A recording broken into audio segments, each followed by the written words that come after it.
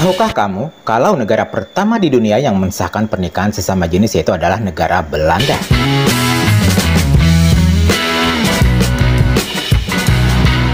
Sejarah mencatat pernikahan sesama jenis di Belanda secara umum disahkan sejak 1 April 2001. Belanda adalah negara pertama di dunia yang mensahkan pernikahan sesama jenis.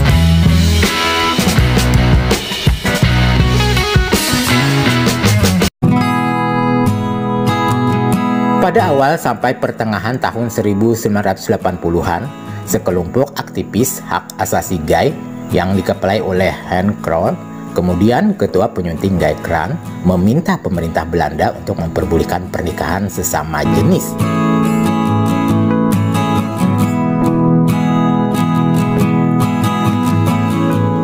Parlemen pun memutuskan pada tahun 1995 untuk mendirikan sebuah komisi khusus yang ditugaskan untuk menyelidiki kemungkinan legalisasi pernikahan sesama jenis.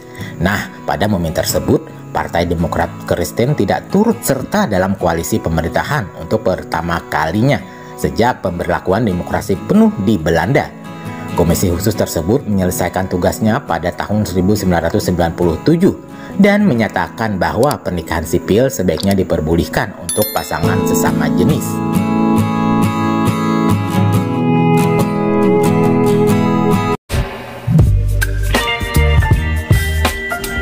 Terbukti Belanda adalah merupakan negara pertama di dunia yang melegalkan pernikahan sejenis. Sebenarnya sudah dari tahun 2000 legalisasi disetujui, namun penerapan resminya baru disahkan di tahun 2001. Seiring berjalannya waktu, menurut jejak pendapat yang dilakukan pada Mei tahun 2013, sekitar 85% penduduk Belanda mendukung diperbolehkannya pasangan sesama jenis untuk menikah dan mengangkat anak. Baby,